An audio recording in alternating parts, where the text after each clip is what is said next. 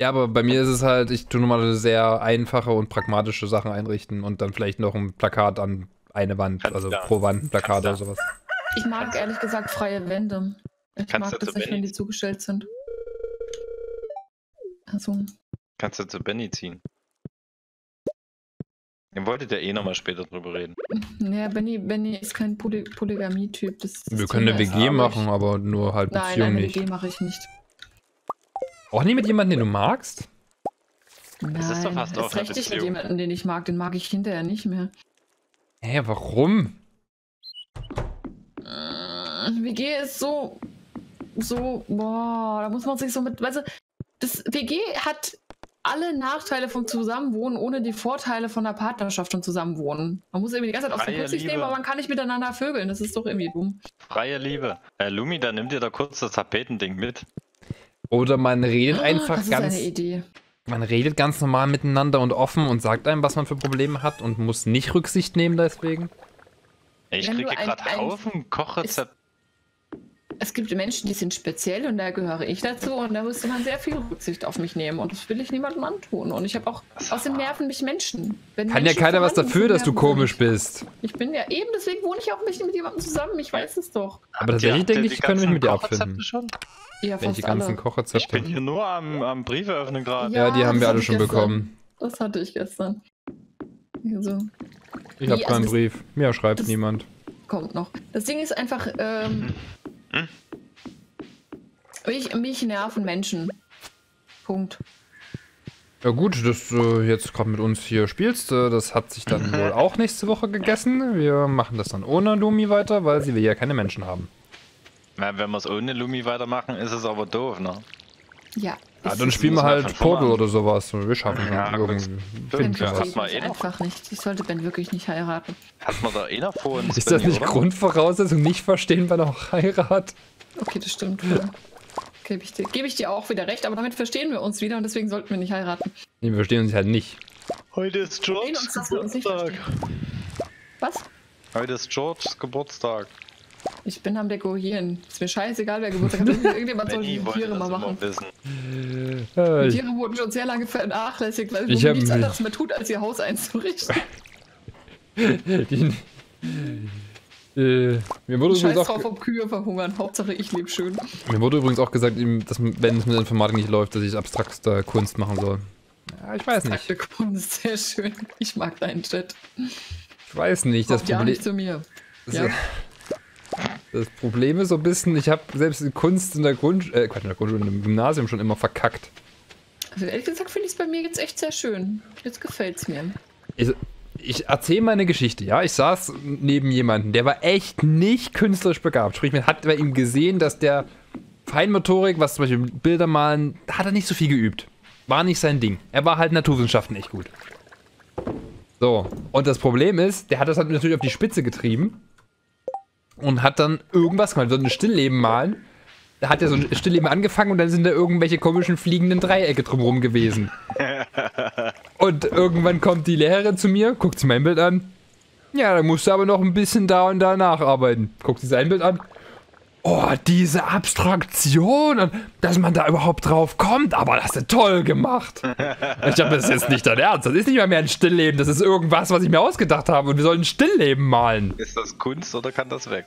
Richtig. Ja, aber die. Kunst muss man nicht verstehen. So, jetzt brauche ich noch ein paar Der, Lampen. der ist tatsächlich erst in der 12. Klasse damit mal auf die Fresse geflogen, als wir einen, einen Mensch sozusagen aus Ton machen sollten und er hat quasi einen Golem gemacht. Das fand sie nicht mehr so witzig. Herr der Ringe. Also wirklich so einen kantigen Golem, also wirklich eckig hat, hat er dann halt draus gemacht. Oh, ich brauche jetzt noch Lampen. Warum, warum ist eigentlich sowohl bei Ben als auch bei Felix so eine, so eine Deko-Box und bei mir irgendwie nicht? Weil du dir keine Deko-Box gemacht hast, wie wär's damit? Die ist teuer. Box. Ey, was für eine Deko-Box redest du denn? Ich, ne, ich meine diese, diese, diese Sachen, wo man Sachen Katalog? aussuchen kann, ja, den Ja, den Katalog. gibt's nur, den gibt's nur einmal immer. Aber ihr also- habt den doch beide. Ein paar Happy Tees, dann hab ich einen neuen Bock raus. Benny hat den für die Möbel und ich habe den für Bö- Böden und Tapete. Felix, inzwischen hattest du Du hast beide. aber auch einen für Möbel. Nein, den habe ich dem Nein, Felix gegeben, den sollte er nehmen. Ach so. Damit das alles in einem Raum ist, weil ich ja mehr Platz habe. so. Genau. Benny nimmt das Ding mehr Platz weg. Lumi hat mir nicht Ja, zugehört. Wir haben vorhin, Ja. Ich habe vorhin zu dir gesagt, du kannst es nehmen, weil ich habe nicht so viel Platz. Vielleicht habe ich euch ja gemutet, weil ihr mir auf den Keks gegangen seid. Das kann natürlich Ja, dann mute uns vielleicht mal nicht, dann mute bloß dich, damit wir dein Quatsch nicht hören. Immer einmal mehr wie du. Was? Genau. Hier gibt es gar nicht so viele Lampen zur Auswahl. Das Oh, wir haben gar keine Feen. Lampen mag ich eigentlich nicht. Ah, uh, uh. Aber haben wir eigentlich 150 Sonnenblumensamen? Wen wollen wir denn damit ersticken? Hm, weiß ich nicht, ihr wollt doch immer alle Sachen mal feben. Sag mal, hat sich eigentlich irgendjemand mal gefragt, warum wir in uns, bei unser aller Buden kein Badezimmer haben? Düngen, düngen wir den Boden live oder wie Hä? stellt sich das Wir, wir Spiel leben auf einem Bauernhof, was willst du? Eben, da gibt's ein Plumpsklo. Ja, oder du gehst ich einfach zum Teich und pinkelst also dahin. bitte. Oder in einen Komposthaufen Scheiße. Ja. Einfach direkt bei den Tieren mit rein. Das ist doch alles ein Abwaschstand. Wie, wie war das bei Simpsons? Hast du da. Nee, hat das Schwein das Fass alleine voll gemacht? Ich hab geholfen. Ja. Ja. Felix, gehst du eigentlich immer noch Hartholz holen? äh, gerade nicht. Okay. Bin gerade in der Mine. Ah, du kämpfst schon wieder. Ich muss vielleicht auch mal meinen Ja, Kampfskill steigern. Ich habe Ja, ich zusätzlich für uns neuen Energietoniken geholt, wenn man das äh, so ausspricht. Ich komme an dieses blöde Jackie-Cola-Schild nicht ran, oder was das sein soll. Jackie Cola? Äh, nee, Aber du musst es doch aufgehängt haben. Ich hab's nicht aufgehängt, es ist im Weg. Ah, jetzt habe ich es eingesammelt. Und normalerweise. Hangen heißt es doch, oder? Aufgehängt. Aufgehängt. Hm. Hm.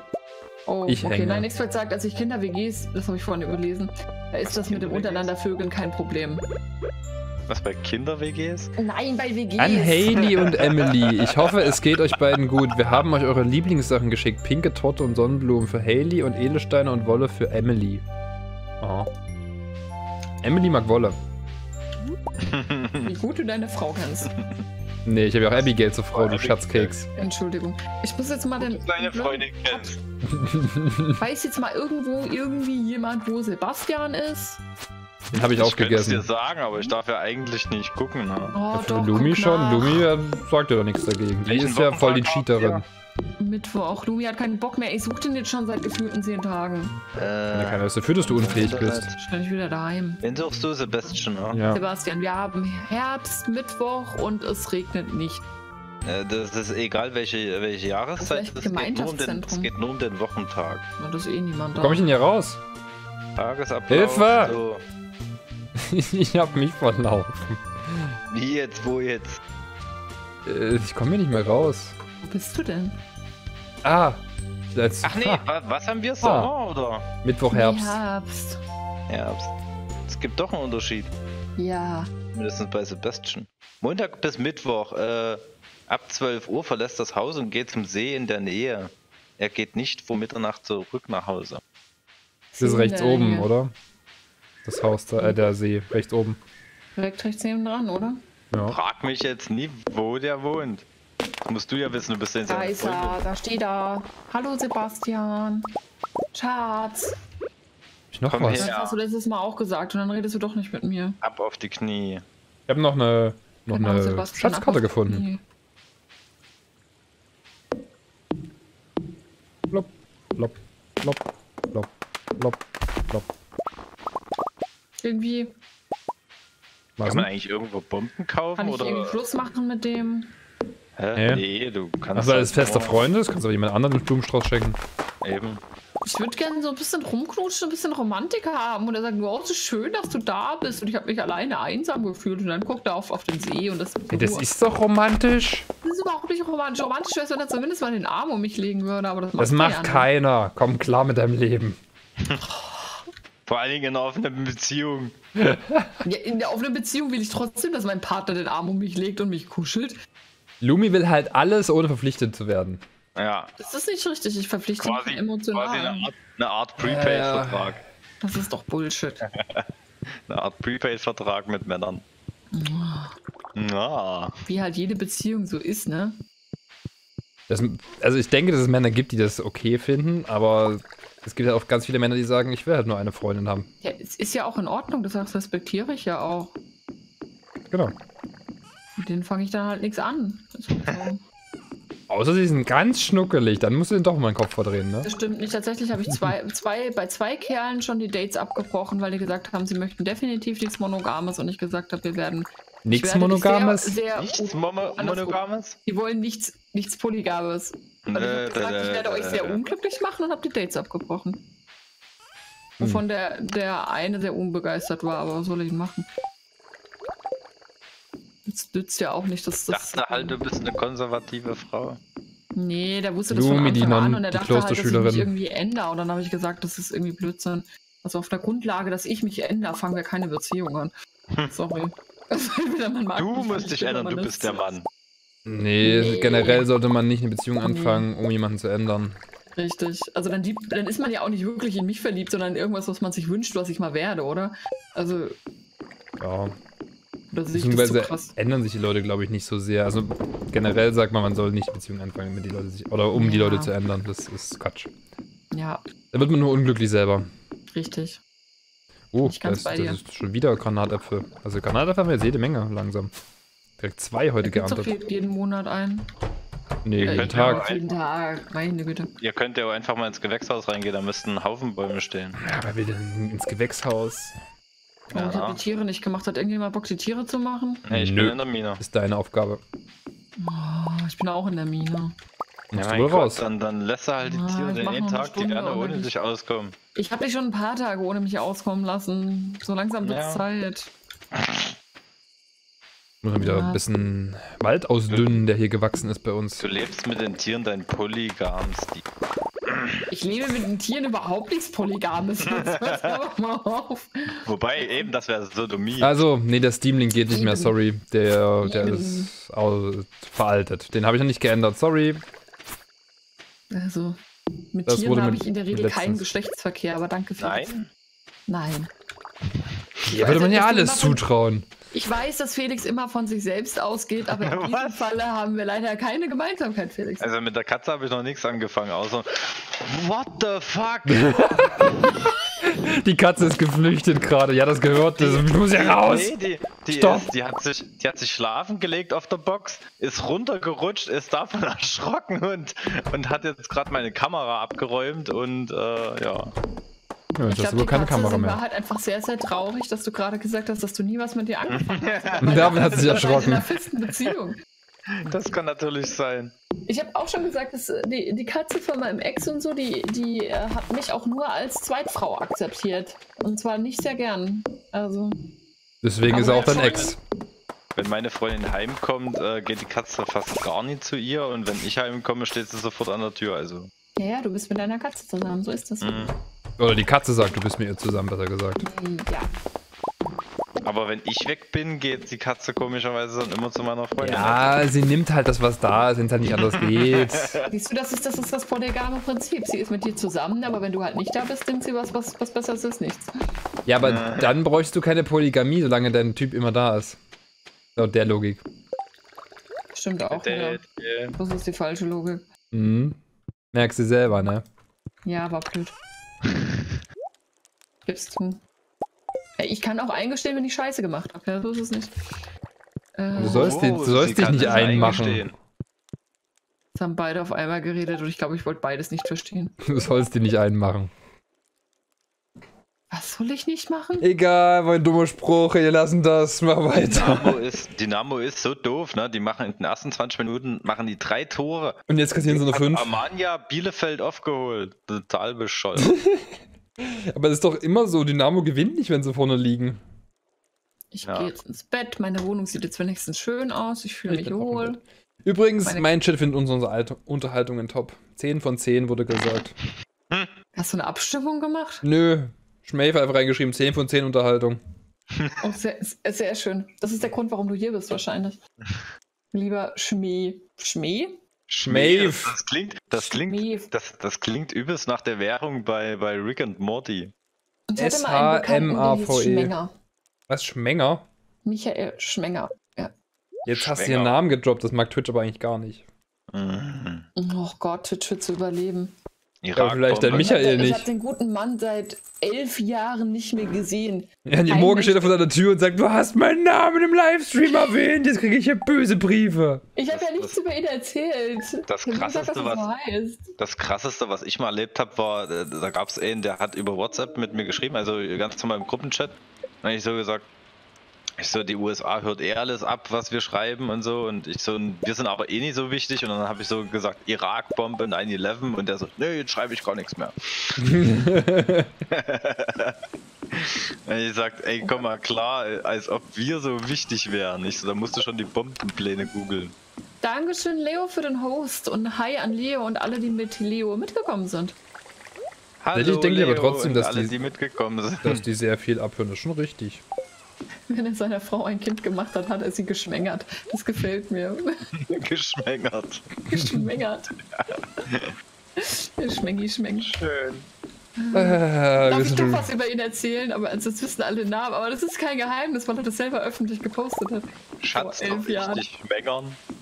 Ich erzähl's einfach. Ähm, der war auch bei Wer kennt wen und auch mit vollständigem Namen. Von daher ist es gar nicht so böse. Was, wer kennt wen? Wer kennt wen, die Website? Kenn ich nicht. Ja. Kenn ich nicht.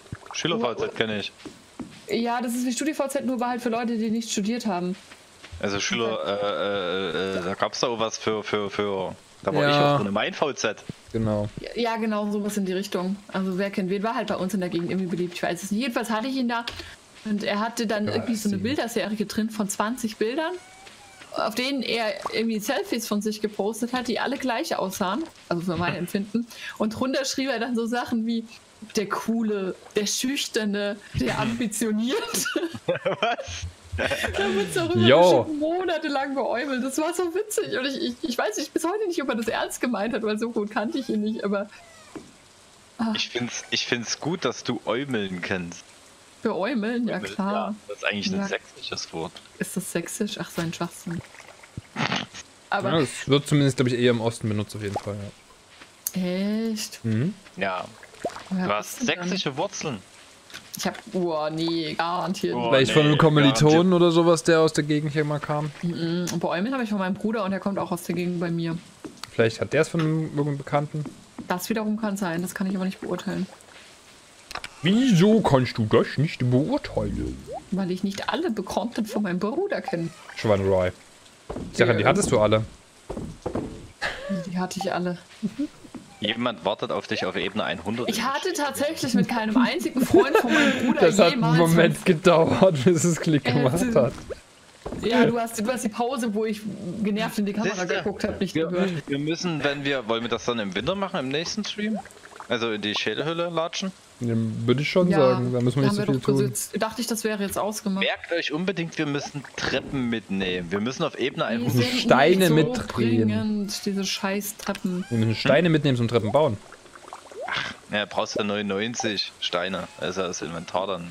knack- 999 ist ein Stack. Der Ja, gut, Anfang stimmt. war verwirrt, der, der, der Fortschritt war genervt, fand ich zumindest. Aber gut. Das, Ja gut, dann machen wir so, dann nehmen wir einfach Steine mit und bauen das dann, je nachdem, wenn wir es brauchen. Komm her, Lunis Gaul, jetzt benutze ich dich auch Das mal. ist aber gar nicht mal so schlecht, Benny. Danke. Lumi reitet. Wir müssen halt bloß nächstes Mal dran denken. Ey, wer hatte diese Scheißwege gebaut, wo man mit dem Pferd nicht durchkommt? Ich Du musst nicht. zwischen den Dingen dort lang, äh, zwischen den Beeten. Ja. Ja, bei den Beeten geht's ja auch, aber zwischen den beiden Häusern geht es nicht. Nee. Nee. Wo ist denn das, das zweite Pferd eigentlich? Ah, da. Da, nehmen wir das. Hoppa, hoppa, Reiter. Wir brauchen noch so viel im Museum. Ich weiß gar nicht, wo er. finden sollen.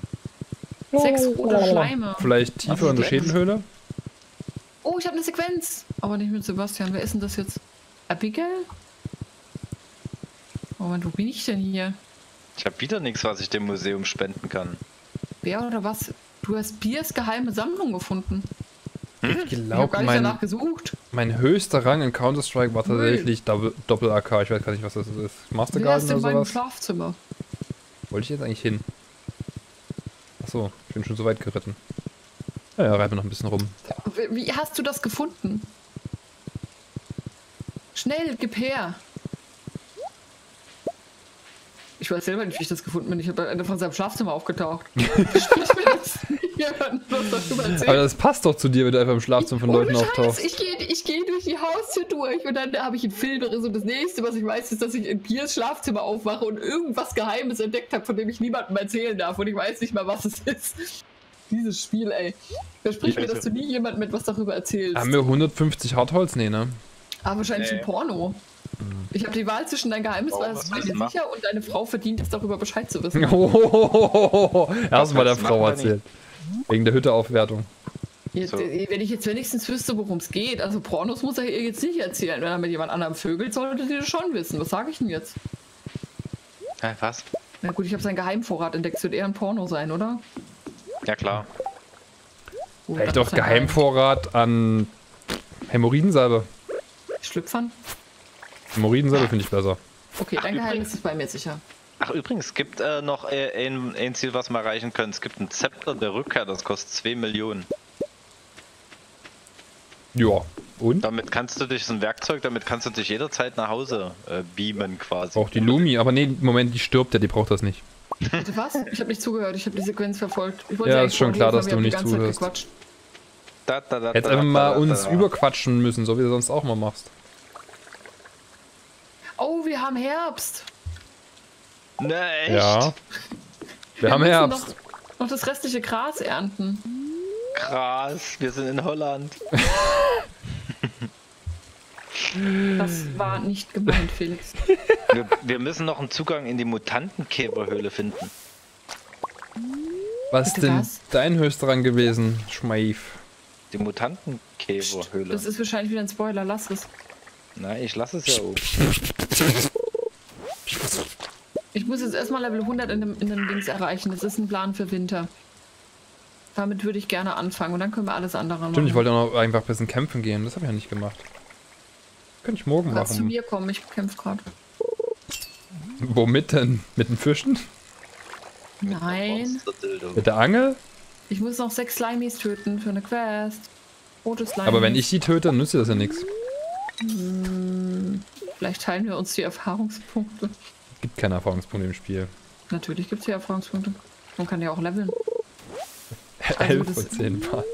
Also wird es irgendwo ein, ein Punktesystem geben, wie man Erfahrung kriegt. Du levelst also deine Fähigkeiten und nicht deine.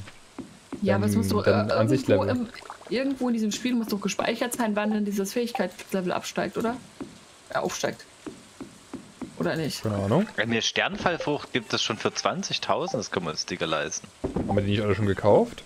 Wo ist denn die? Ja, man kann ja noch eine kaufen. nee. Nee, du kannst eigentlich immer nur eine kaufen. Also hier gibt es eine für 20.000 von Grobes. Hast du sie noch nicht gekauft? Würde ich auch sagen. Doch, ich habe letztens schon eine bei dem äh, Mensch, merkt ihr euch eigentlich Zeug oder?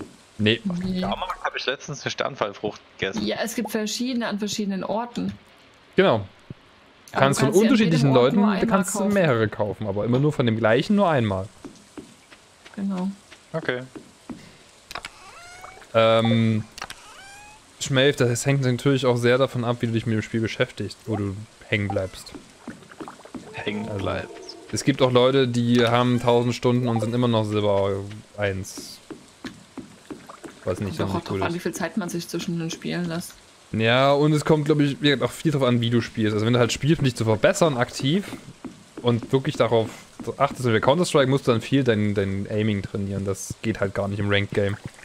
Da musst du zum Beispiel auch viel Deathmatch oder sowas oder gegen Bots bestimmte Trainingsparcours spielen und sowas. Der Pro, gibt Tits. Tatsächlich, äh, Counter-Strike-Profis spielen zwischen drei und fünf Stunden Deathmatch am Tag, einfach nur um ihre Reaktionsgeschwindigkeit hochzukriegen. Alter. Halten. Also wirklich täglich im Durchschnitt. Im Durchschnitt. Und dann haben die halt noch Trainings dazu. Also das ist halt schon, ein Profispieler ist nicht Zuckerschlecken an der Stelle. Außer du liebst halt absolut das Spiel, aber ich glaube, nach einem Jahr, wo du jeden Tag acht Stunden das gleiche Spiel spielst, kannst du es nicht mehr so richtig lieben. Sag mal, jetzt mal eine Gretchenfrage. Meint ihr, dass E-Sportler echt noch Spaß haben an ihrem Game? Oder ist es dann denk wirklich schon. Sport? Naja, Also ich mein, denke, ich ja denke auch, machen, dass, Ex dass äh, Profisportler Spaß in ihrem Spiel haben. Ja, okay. Aber wenn du so ein Spiel halt 8, 9 Stunden am Tag spielst, zwei Jahre lang oder sowas, Du musst Leidenschaft haben. Wer ist denn eigentlich am besten von euch mit dem Zauberer befreundet? äh, scheiße, den Zauber habe ich völlig vernachlässigt.